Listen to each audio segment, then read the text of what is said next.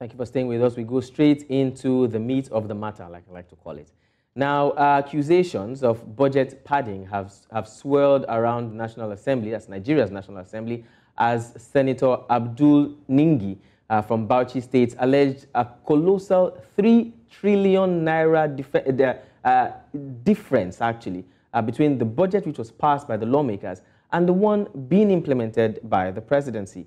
Now, the senator further alleges that the existence of uh, duplicated projects and a lack of transparency in the allocation of funds to, uh, you know, to senatorial districts. However, the Senate had denied these accusations, suspending Senator, Senator Ningi for three months. Let's take a look at uh, this report by News Central's correspondent and Abuja Bureau Chief Amadin Uyi. It was a chaotic session on the floor of the Senate. Lawmakers took turn to express their view over the allegations by Abdul Ningi, who had claimed that the Senate had padded Nigeria's 2024 budget. I think will be uh, Senator Ningi, who I respect a lot, has a duty even to his own children, that he will not be the man who will be in the reported in the front pages of newspapers and electronic media all over the world and say something that he found out is not true.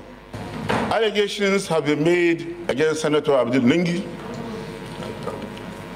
I think it's only fair for us to give him time or to give him chance to defend himself. This thing has happened. it has happened. And Ningi was wrong. I told Ningi in here that he made a mistake, that he stand up and apologize to us first, then apologize that, look, this even figure that I'm looking for, three trillion, is here. What my big brother, distinguished Senator Abdul Ningi, who I respect so well, planned to do or set out to do was tantamount to a civilian coup. I have here a copy of the last three budget that was passed 2021, 2022, 2023. All the details of these agencies I've mentioned are not contained in this document. So, for my brother who have put up a consultant to look into this budget and have reported that 25 trillion was approved by the Senate, it's not been fair to the Senate. Though many lawmakers were upset, Senator Ningi was given an opportunity to defend himself. Please, please, please, can you allow me to, Mr. President, perusing through the budget, first, we discover humongous anomalies of repetition. We discovered some senatorial districts in this particular document, some senatorial districts have up to 120 billion. However, the Senate took a voice vote where majority voted for his suspension.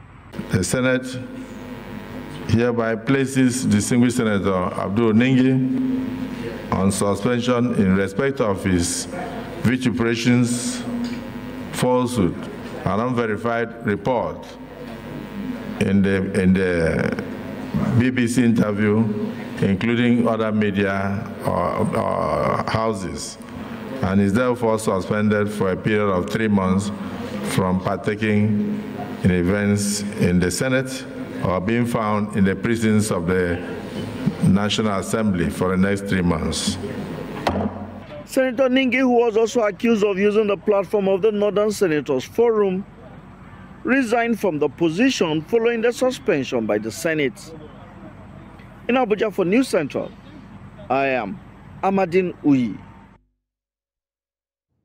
Well, that report was put together by News Central's correspondent Amadin Uyi, who will be joining us very shortly. And uh, so many questions have been raised, you know, concerning this development. A lot of people have said that um, they would have loved for Ningi to have been given the chance to defend himself, which they said they did. But in the middle of his speaking, he was also shut down. So a lot of people are saying, did he have evidence? And if he did not, and you know the Senate claimed that it was wrong, what is the Senate's evidence? Because we're just hearing that you were wrong, you know, you didn't do your due diligence, but we're not hearing the part of the other side. So a lot of questions have, have been raised, and because of that, we'll now be joined by News Central's correspondent and Abuja bureau chief who did that uh, amazing report, Amadin Uyi, um, joining us from the Federal Capital Territory. Thank you so much, Amadin, for joining us. Thank you very much.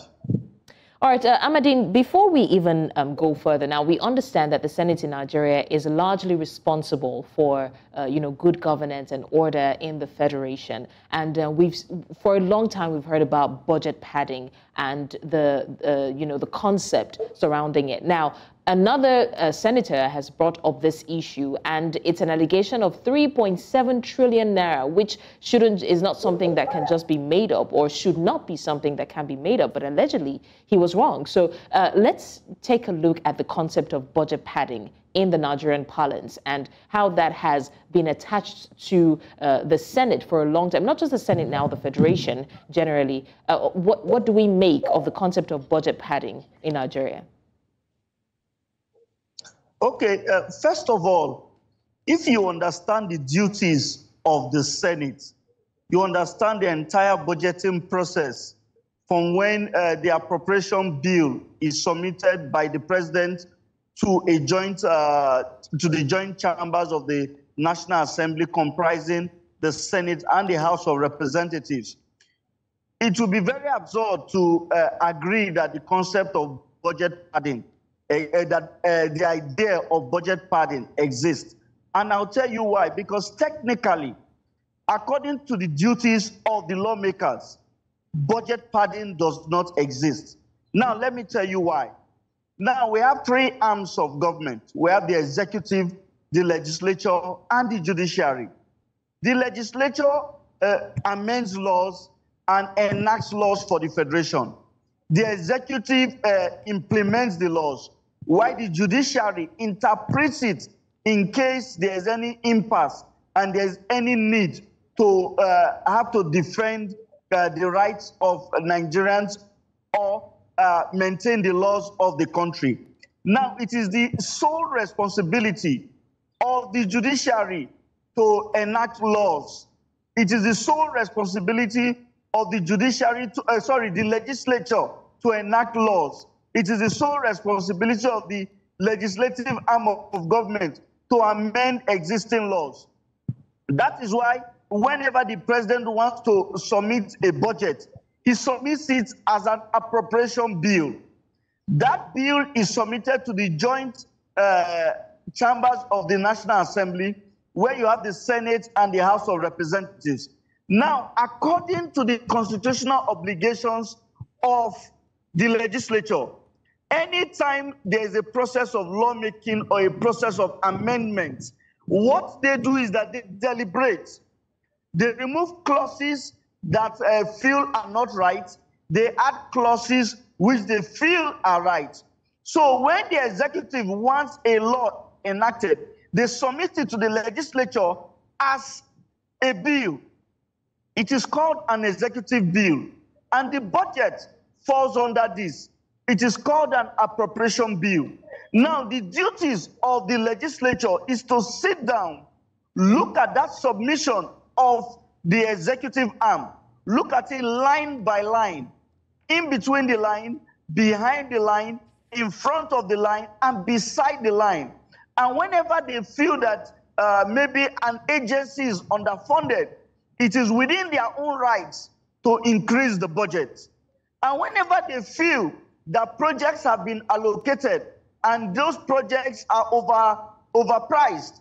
It is within their own rights to reduce the sum submitted by the executive. That is why I say when you talk about look at the duties of the lawmakers, technically budget padding does not exist because they have a right when that bill is submitted by the president, they have a right to interrogate the agencies involved they have a right to call the chief executives of the agencies involved. They even have the right to allocate a zero budget to an agency that they feel has not complied with their summons. So when they are performing that duty by either increasing or reducing, you cannot say they are they have performed the act of budget padding, whether they increase it, because they are acting within the confines of their obligations and their mandate as required by the constitution. Now, you know, Nigeria is a funny place where sometimes the politicians like to beat the drums.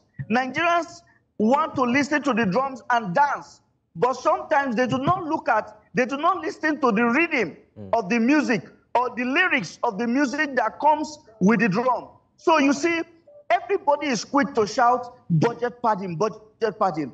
But now, when someone has been saddled with the responsibility, given the authority to increase the budget or reduce the budget, then that person cannot be said to pad the budget. Okay, I'm, now, I'm, hold I'm, on there. Okay. Now, after let, let me just add this. Let me just okay. add this.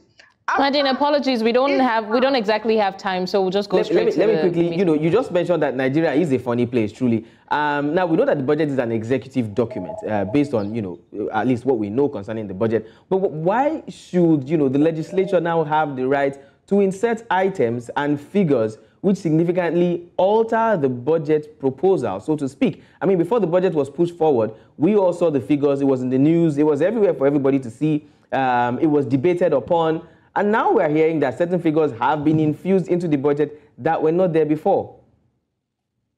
Now, uh, Bernard, that question has been asked right from the time of President Olusegun Obasanjo.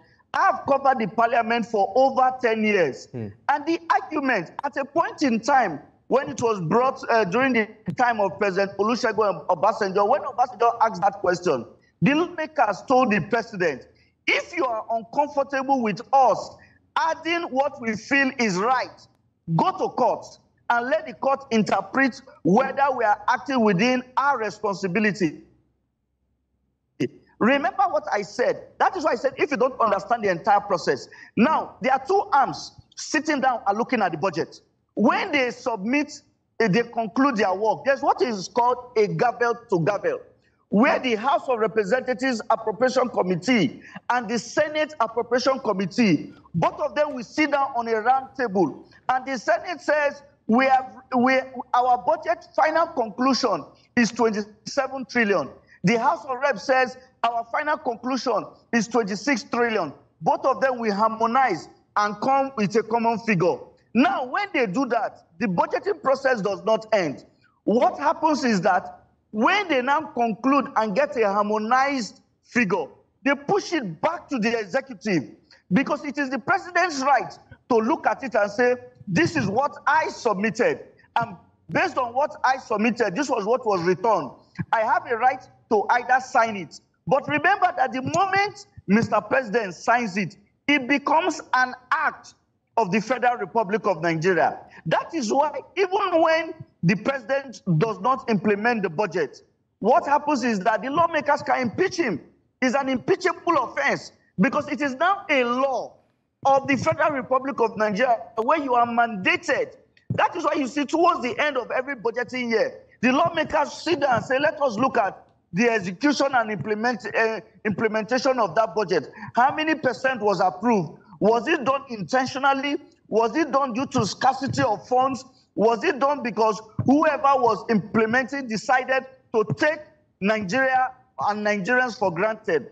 That is why I said technically, this debate has been on. It was on during the former presence of the Senate when Obasanjo was president. Okay. It was on during uh, Yar'Adua time and when uh, Dimeji Bankole and others All right. speakers of the House of Amadin. and, and it keeps on coming okay. on. so on. let's let's focus now on um, the allegations of the you know budget padding of 3.7 uh, trillion naira. Now, if we're being very factual and realistic, a lot of people have thrown their weight behind um, Senator Ningi, including a civil organize or a civic organization BudgIT, uh, which re- uh, recently said that. Um, they shouldn't have suspended him. If we're looking at it, uh, you know, factually, Senator Ningi represents the Bauchi Central uh, Senatorial District of Nigeria. So for three months, it, what it means is that the people in that area would not be adequately represented. So a lot of people are saying that instead of suspending him, why not just do due diligence, you know, have your independent investigation? Because again, after his allegation,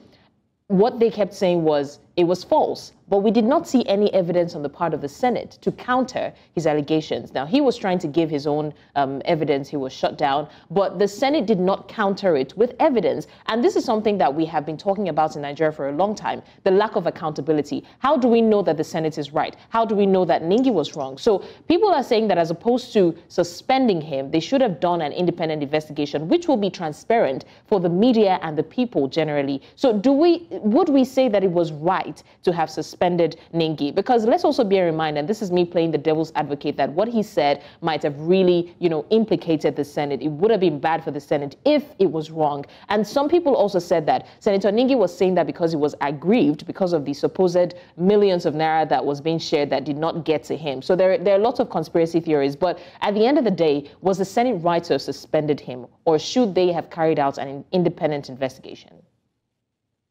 Now, I, I I, I want to be very careful in, in, in, in making this submission about the uh, legality and non-legal illegality of what the Senate did. The Senate has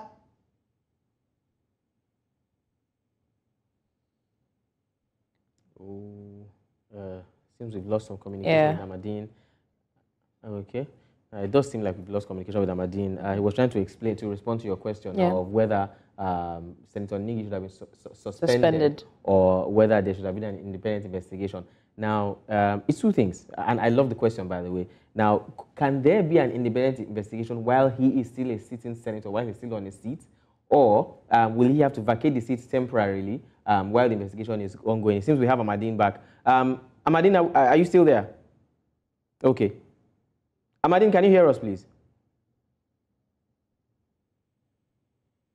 Okay, seems we still I don't think we have. All right, Amadin, we may need to move on from there. You know, so um, I'm not expecting that you answer the question, but I think that's where the line is. No, but let, let me be there so while the investigation is ongoing. What I would have expected mm. was whether or not he was going to be suspended for again, right, it shouldn't even be a thing that we're talking about. Should, like I said, um, the Senate is there for a reason, right? And the people need to know what is happening. Mm. So if that is coming up, I'm not sure, but I want to believe that that amount of money cannot just be made up out of nowhere. So if that is coming up, it's something that should be looked into while he's still on sit. And if it's found that he was wrong, and maybe he was just saying that because he was bitter about the fact that some monies were shared, which again, which is a, a whole ball game, different, different ball game that we're, we're not even going to go into. But if it's found that he was wrong, then maybe suspended or, or altogether dismissed mm. and replaced. Because again, it's now looking like a game of it's just you and me against each other that's within the Senate. They don't care about the people because if you cared, you would not suspend someone representing a whole constituency. Yeah, yeah. And then for three months, those people will have, have, no representation. representation. And, you know, it, from what we've, we've heard, some of the uh, Senate members did mention that um, uh, Senator Ningi is trying to incite some things that shouldn't be. But what they did is also going to incite something because if the people of Bayelsa, um, uh, what's it called now? If that region Bauchi, decides that, you know what, Bauchi, uh, apologies, if they decide that, okay, fine, you are taking away the person representing us without replacing him with, with someone else, we want to protest. That's inciting something else. So I want to believe that even if Senator Ningi was wrong, or even if the Senate was wrong, there's a different way they would have gone uh, about this because now it's looking like this is just the Senate being defensive. You just shut it down saying that it was wrong. We have no evidence. Again, we have no proof that it was wrong. And trust Nigeria, because we always lack accountability, this issue will go down without resolution. Exactly. And uh, just as we, as we wrap this up, um, you know, it would have been good for Senator Ningi did actually say um, that there were some um, duplications, you know, in the budget. Uh, there were some monies that uh, came from nowhere and, and were infused in the budget talking about the investigations that you are suggesting should have been made, I think some of those documents or the documents or the pages in the documents where he claims that there were duplications, there were yeah. um, inserts of things that were not there before, should be made public for people to see. Exactly, you know, and then counter end, it. And from, the, from their end, and then they counter it exactly. exactly. If it's not true, they counter it. If it is true, then we see that um, his allegations were actually correct and, and we see where we go from there. But again, like you said, this is Nigeria. Uh, we have cases rise this is and Nigeria. cases fall. Uh, okay, I think we still have Amadin. Uh, Amadin, thank you. Thank you. Are, are, you there? Can you hear us? I can hear you loud and okay, clear. Amadin, unfortunately, we've wrapped up the conversation without you. Um, but, you know, in one minute, can you tell us what you think will be the conclusion or the outcome of all of this? We've seen cases like, well, not like this, but similar cases being swept under the rug and nobody says anything about them. What do you think will be the likely conclusion of this particular case eventually? Now, uh, first of all, I think Senator Ningi has only one option. If he feels aggrieved, he should go to court. But the submission that the Senate did not defend himself, themselves. If you listen to the speech of Senator Solomon Olamilekan, who is the chairman of the Committee on Appropriation, he made it very clear when he, because it is his committee that is responsible. And he said it very clear that there are some agencies that are on first line charges. The breakdown of their budgets is never put in the final proposal. Those are agencies that require a lot of operations and where fundings can be gotten from external sources. Some of them are revenue generating agencies that will need funding to boost their revenue drive. You talk of agencies like the customs, FIRS, NNPC, CBN, and others. So it is so Senator Lamileko alleges that the extra three point something billion that which uh, Senator Ningi was saying that there were no breakdown belong to those agencies. Now it is it, it is within the right of Senator Ningi to prove that that submission is wrong. If he feels he has been wrongly treated by his colleagues, he can approach the court to interpret uh, the Senate, uh, uh, the interpretation of the Senate's powers, mm. whether they have a right to suspend him or not. All right, Amadin Uyi, thank you so much, our Abuja Bureau Chief and our correspondent all the way from the Federal Capital Territory. Thank you once again for joining us, Amadin, and uh, we will continue to reach out to you for the conclusion of this story. Hopefully, it favors the people of Nigeria because we are most important, not one senator and not the Senate chamber itself. Thank you very much, Amadin. Thank you very much.